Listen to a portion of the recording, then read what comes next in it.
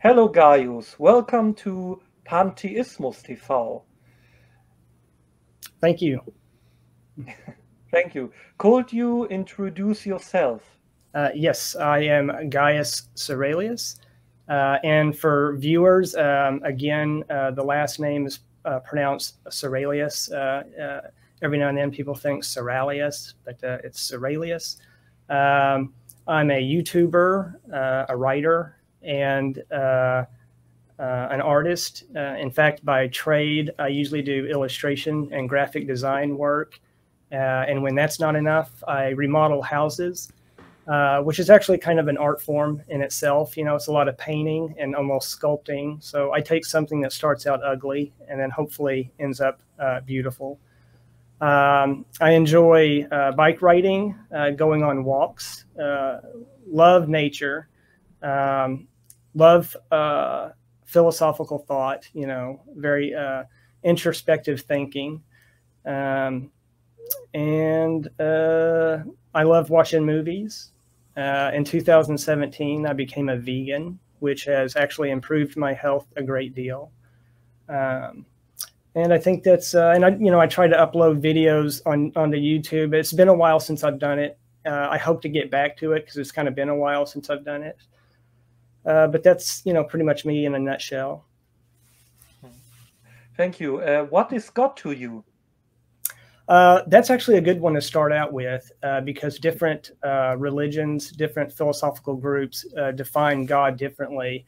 but there's one common denominator that I think we can all agree on, uh, and that is, you know, I've, I've, narrowed it down to the fact that God to me is uh, that which is the constant causation of my existence. So I think of him, or, or I, I, shouldn't say him, you know, a lot of times we make the mistake of saying him because we were so used to thinking in those terms. Uh, but it's really an it. You know, God is kind of like this divine thing to me. Um, but uh, I don't believe in creation. So I always think of God as the cause, the ultimate cause of both my existence and the universe. And so it's this constant causation. That's that's what God is to me. And of course, you know, if you want to go into uh, further, uh, what is that? Uh, to me, it's the whole package, all of it. You know, all of nature, all of the cosmos. Uh, it, it requires the whole system, the whole package, in order for any of it to exist, in order for any of it to be possible. Um, so that's why you know when I when I first learned about the term pantheism, and they think of all of nature or all of the cosmos as that godlike uh, agent that's res- that's responsible for it all. That's that's when I knew okay, I'm going to start referring to myself as a pantheist. Uh, you know that term doesn't bother me because that's actually how I first got into pantheism uh, was when I was uh, looking at YouTube videos. Um, I forget I forget his uh, handle, but a YouTuber referred to my philosophy, and he he referred to it as pantheism or pantheistic thought. And so I, I, you know, quickly looked it up, you know, searched that term, and when I found out what the term meant, I thought, okay, yeah, that's that's exactly, you know, that's a good word to describe me. Um, and then ever since, of course, I've I've joined certain Facebook groups uh, uh, like Paul Harrison's, uh, which I would think that y'all would both be familiar with, um, and then um, others that are you know pretty prominent groups. Um, I had briefly sort of even created my own Facebook uh, group. Um, you know, it's it's something that again I haven't really had a whole lot of time to work with. I hope to get back to that. Um, but it, you know, it had a, it had a small following. Um, and then I, I, finally got to where I had to shift to other responsibilities. But if I could ever get back to that, I, I would like to do that. Um, but yeah, that, that's how I got into it, Ma- mainly through YouTube and and learning about that term. You know, because uh, as I was saying before, uh, before we went went on, uh, we all kind of start out naturally. We're, we're born, natural born pantheists, I think all of us. Uh, even people who later become indoctrinated into the Abrahamic religion and other faiths. Uh, we instinctively seem to, the, even I think even animals uh, are pantheists because we all just instinctively realize that nature is responsible for it all um, and the cause of it all. Um, so then, you know, even when uh, when I look back on things that I thought about when I was a kid, um, I, I realized, wow, that was that was kind of a pantheistic point of view that I had, you know. So it was only later, you know, when I started, you know, because my family started to go to the church a little bit. They weren't real big on it, but it was just something that they experimented with a little bit, um, mainly because of their own family background, you know. So it was something we did for I don't know a few months, uh, off and on, and then we finally all just kind of quit going. And that actually gave me a lot of room to explore pantheism or, or just other views. Uh, I feel sorry for a lot of people who are born into very religious families where, you know, really tight parameters, where they don't really have any room to explore anything or they're afraid of what their parents might think. And I never had that. I never had those limitations at all. Uh, my parents were completely open to other ideas and were not upset. Uh, I remember my father uh, one time, you know, he would question it but then even he later started reading, for example, Eckhart Tolle uh, and and other spiritual books, and kind of explored, you know, pantheistic type thinking and, Eastern philosophy. You know, that was another thing when I was growing up. I got really into the Eastern philosophy. In fact, I used to watch. You know, I don't know if y'all are familiar with the series that came out in the '70s called Kung Fu uh, with David Carradine, and there was a lot of Eastern philosophy that was um, shared throughout the series. And I just really related to it and really enjoyed it. I, in fact, I actually watched it mainly because of the philosophy, not because of the action, although that was good too, you know. So, uh, what's it like living as a pantheist? Has pantheism changed you? Well, I think I kind of sort of answered that the first part of that, but has it changed me? Uh, yes and no. Uh, uh, kind of as I was saying, I've always kind of felt like I was a pantheist. I just finally kind of learned the term. Uh, but then as I did get older and started uh, thinking of it uh, on more intellectual terms and just started wrestling with my own thoughts, my own questions, um, and just thinking about thinking about certain questions within the arena of pantheism, it did help to, in my opinion, relax me a great deal. Uh, and it gave me a great deal of comfort. Um, there were certain, now this is also, we, each of us, we pantheists have certain tailored views within pantheism.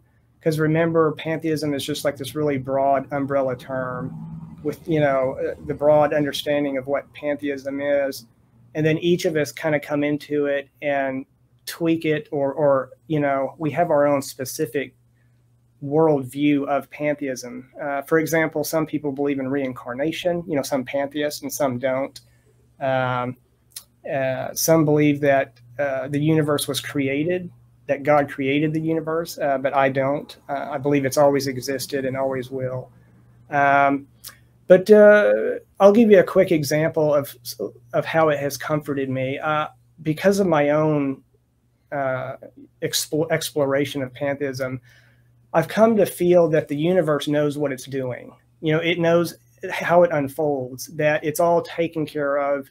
Um, I believe that uh, the universe has to be the way that it is, um, and that ultimately it's not there's not going to be anything that's going to completely corrupt it or destroy the universe uh, whereas you know I, am sure some theists uh, actually worry and fear about that have a great deal of fear about that uh, but, because i personally believe that the universe has always existed in sort of like this cyclical thing this divine machine like thing uh, I, I, think it's it's beyond corruption. Um, I believe it's this thing that remains uh, balanced and conserved overall.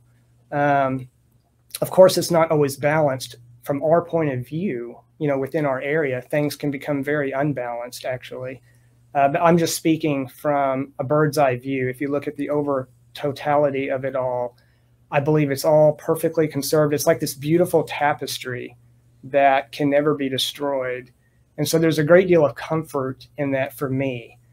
Um, now, again, when it comes to my personal take on pantheism, I believe that evil and pain, or we call it evil, but I'll, I'll refer to it as negative things that can happen to you, or you know that the universe can do, you know, can cause you pain and suffering. In other words, um, that's just an unfortunate component of the universe. It's kind of a yin yang thing that can't be, that can never change, in my opinion. So even though I believe the universe will always exist, um, that doesn't mean it doesn't have its downsides or it doesn't have its negative side, its dark side, its cruel side, um, which it does.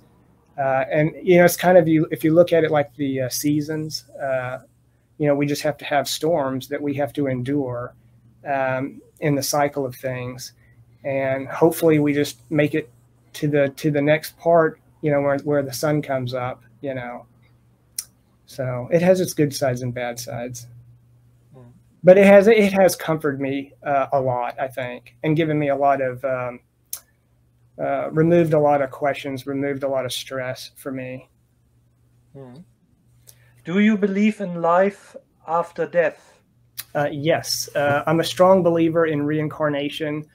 Uh, I believe that uh, sooner or later we will eventually lose our identity. Like I, I you know, I know myself through the human conduit as Guyus, and I have certain memories and, and certain a certain identity that will all soon fade. Uh, maybe even right away. I hope not, but you know, because I'm not claiming to know exactly what happens afterwards. I have some ideas, and those ideas are based on things that I've observed through nature. Um, if you look at nature, which seems to be very cyclical, you know, the rock cycle, the weather cycle, uh, worms shedding, uh, snakes shedding their skin, uh, the way a crab moves from one shell to another. It just seems to always symbolize or be metaphors for like this cyclical thing.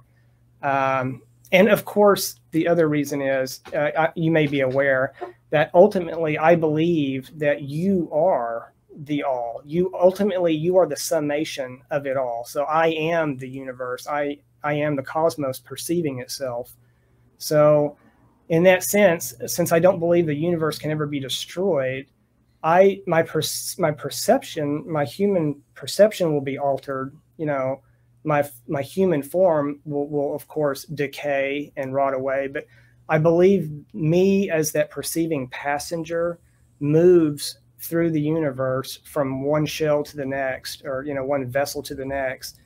Um, now, how exactly that transition happens, uh, I don't know. Uh, uh, but again, I have some ideas.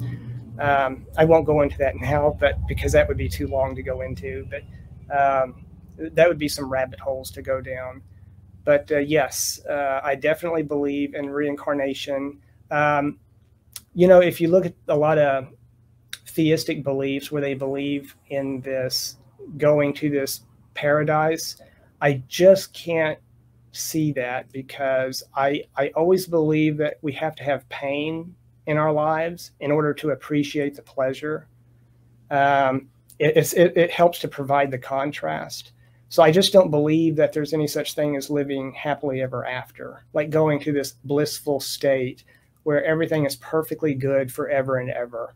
So life has these uh, rhythms of up and down, you know, that undulates between the positive and the negative. Um, you know, it has its crescendo and then it has its falls. Uh, so I just don't think any of any eternal bliss exists.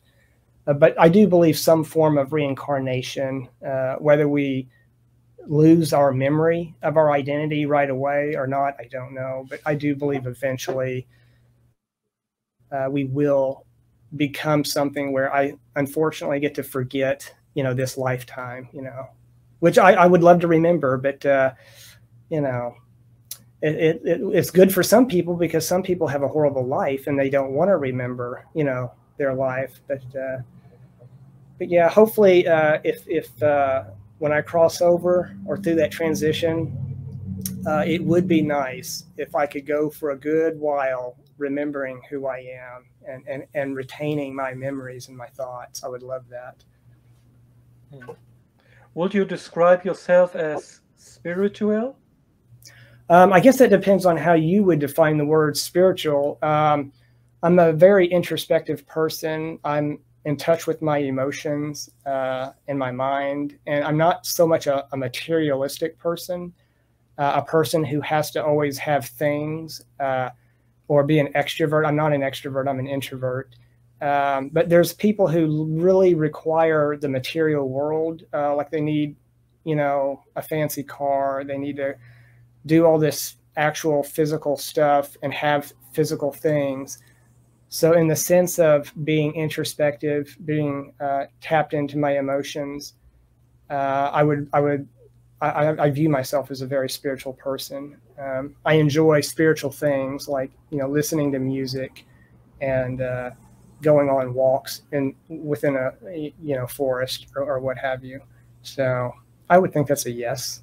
Mm-hmm. Unless you define spiritual, you know, much differently than I do. Do you also read Spinoza? Oh yes. Uh, I mean, I've read some. Uh, the funny thing is, is when I made my YouTube videos, uh, people kept asking me, "Have you read Spinoza? You know, this sounds like Spinoza." And so I finally was like, "Who is this Spinoza?" So I finally started looking him up, and there was another one. Um, I can't remember right offhand. There was somebody else they kept saying, "You you, you remind me of so and so." But yeah, so I looked up Spinoza, and uh, from what I've read, I actually really appreciate. In fact, uh, he's one of my uh, favorite uh, philosophers. Uh, oh, and I just remembered it's Alan Watts. That's the other one people often ask me. You know, have I read Alan Watts? Um, and he's definitely one of my favorite uh, philosophers and thinkers. Uh, in- interestingly, uh, he died the year I was born. Um, so I think I was on this planet for a few months while he was walking the planet, uh, and then he passed a few months after I was born. So I thought that was kind of cool. Uh, but yeah, he's a he and uh, Spinoza. Uh, I don't think I've ever read anything so far that they've said actually, I remember there was a few things that Alan Watts said that I had an issue with, but for the most part, um, I really appreciate the way they think. Carl Sagan is another one. Love Carl Sagan. Wow. Mm. Uh, what do you think of Neale Donald Walsch's books? Uh, I don't know a whole lot about him, but, but from what little I do know, uh, my philosophical views actually stray, I think, quite a bit from his. Um, in fact, uh, it might even be safe to say that a lot of my views might, might be the exact opposite. Um, for example, his 10 illusions, um, uh, I, I, can't remember them all, but uh, for example, uh, failure, that failure doesn't truly exist or that it's just an illusion. Um, now he may be using a certain language because, like I said, I haven't read it in full detail. But uh, to me, uh, failure absolutely exists, um, or at least the concept that someone can set out to achieve something and they don't accomplish that. They don't, you know, succeed in accomplishing that particular thing that they set out to accomplish. Um, and then another one was judgment, that judgment was an illusion. And I'm a big believer that judgment does exist, that we living beings, not just humans, but all beings, we are constantly judging. We are required to judge. Like when we walk into a room, we're like, is this room on fire? Is this person mad at me? You know, we're constantly having to assess our environment and our situation, this just for safety reasons, even. So like whenever we go anywhere, we, we actually do it for safety, um, especially nowadays. Uh, but uh, yeah, now not everybody always does a good job of it, you know, in ter- you know, but we all have judgments, and the way other people judge you actually matters. It, it can actually affect whether or not you get a job or not, or what how other people respond to you and interact with you. So it's a very crucial thing uh, for us to even be aware that yes, judgment does exist. I, would actually be interested in uh, reading up more on his uh, views just to see why exactly he believes that. Um, let's see, another one was need. Uh, the fact that we don't have needs. I don't understand why he would think that that's an illusion that life forms have needs. You know, we need water to survive. We need food. We need sustenance. We need we need shelter. We need all kinds of things. Um, we need to be. We need to have. Uh, we need to feel recognized by others. You know, we need to feel important to some degree in the eyes of others. You know, we need to feel valued. Uh, so we have a, a great many uh, needs, in my opinion. Um, I think another one was ignorance. He said that ignorance is an illusion. Uh, again, um, I don't know what he's what he's thinking there because there are so many people. I think it's actually ignorance and greed. I think are the two main causes of all the the darkness in the world, the pain, the problems, the corruption. Uh, it has to do with ignorance, a lack of knowledge.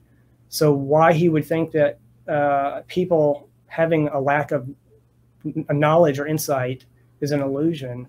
I think he uh, might have also thought that we at least have access to all knowledge, but again, as human conduits, which we are forced to be, uh, we don't have access to all knowledge. Like if you gave me a mathematical, you know, problem right now, especially a huge one, because I'm horrible at math. Uh, I might not have access to that knowledge or know how to, you know, I don't know how to build a computer. I just, you know, so there's so many things I don't know. I would like to know, but I just don't know. And so I'm limited in that sense. Um, so the, the, there are certain illusions that he mentioned that to me are just part of that tapestry of the universe I mentioned that we have to have those things. It's, it's just part of uh, the human or any perceiving being, any perceiving entity has to have limitations. Okay. It's just, uh, if, if, if you had all knowledge of all things all at once, uh, it would all be like one homogenous, lukewarm soup where nothing interesting happens because you know you're you're in tune with all moments all at once. Um, so you'd almost be like a rock, you know, in terms of how we perceive. So in order to just be a perceiving being, uh, we have to have limitations. Um, again, it comes back to that yin yang uh, principle uh, you know, if you think about uh, the yin being what we know and the yang being what we don't know, uh, there it's it's a, it's it's always going to be like a combination of the two. It's it's unique with each individual. It's a unique swirl of the yin yang. That's what each of us represents. Actually, a very interesting combination and swirl of the yin and the yang.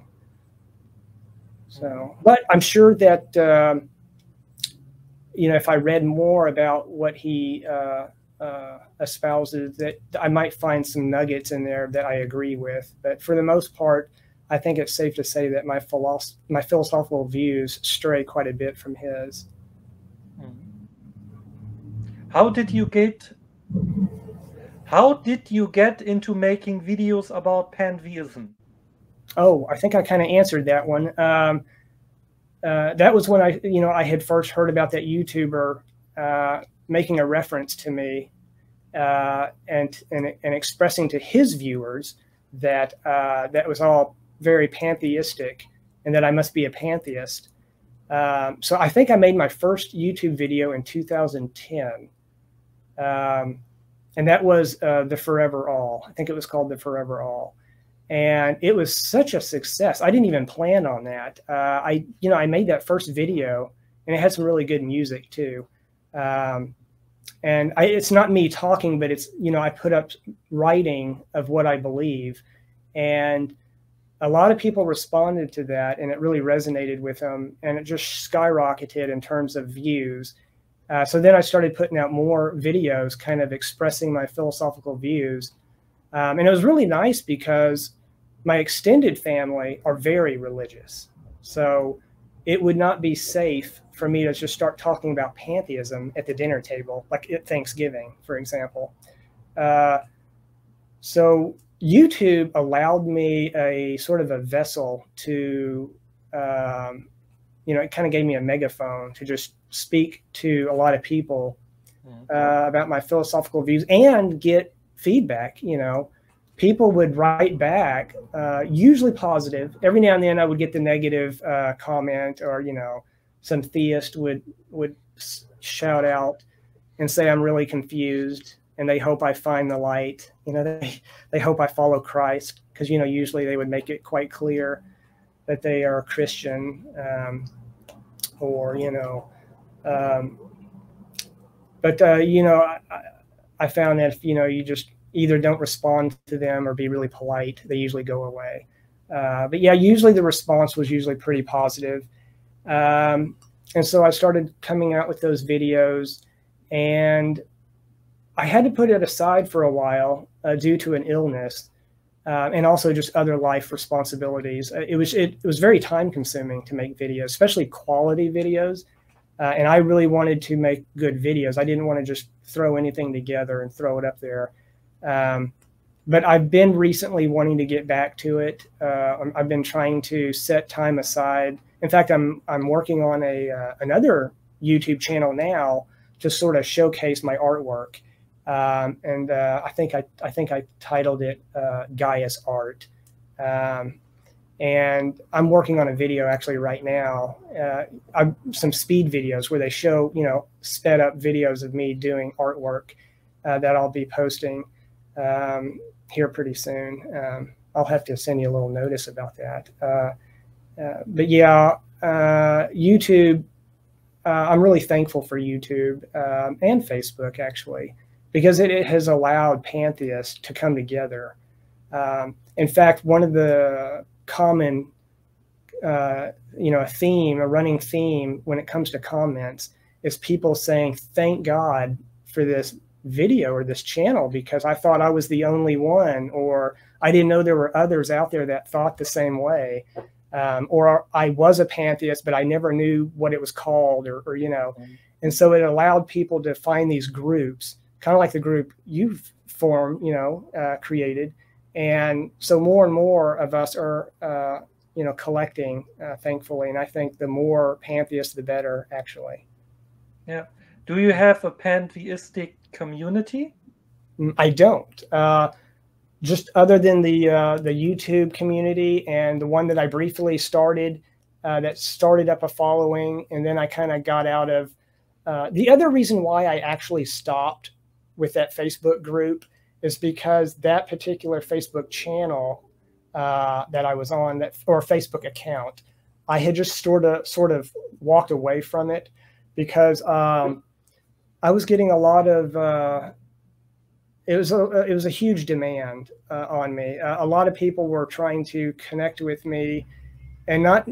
I would have to say some of them were pretty. I don't know, strange individuals, uh, to put it nicely. Uh, you know, some. You know, because unfortunately, when when it comes to these groups, you have some that are just so far out there on the on the woo woo uh, factor. You know, really kind of weird stuff that I'm not. And I'm, I'm a little more shifted towards what Paul Harrison uh, has done, which is, you know, he calls his scientific pantheism.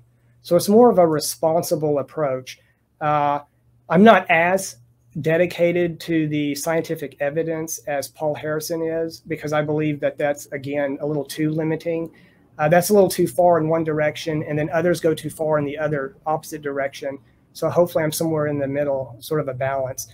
But I do always want to use some form of evidence. I have to have all my views, all my pantheistic views are based on something I've observed or something that I've learned in school, uh, whether it's from teachers, whether it's from uh, my parents, uh, friends, books, movies. So uh, it's a it's a, a compilation or, or, a culmination of all that over all the years of my life uh, up to now, and so it all came together because you know of course i didn't know a lot of what i what i like to think i know now when i was like five years old. So uh, it just slowly accumulated over time and finally gave me that worldview that i have. And it and it's always subject to change and always subject to error. You know i could be wrong about everything i say. Uh, so um, i'm hoping i'm not and i don't think i am but you know I, I make mistakes i'm not perfect uh, but I keep I keep trying to move through life using my life experiences, everything that I've learned, um, my interpretation of the universe, I guess. Mm. Uh, last question. You wrote a book. Would you like to read us something from it? Uh, yes, I usually keep one. I think.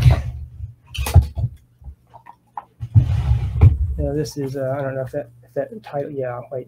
Yeah, that's the Forever All. In fact, I recently uh, had to change the title to Pantheism, the Forever All, because search engines just did not like that title because it was too it was too simple. The keywords, the Forever All, it just isn't. It didn't uh, latch on to anything.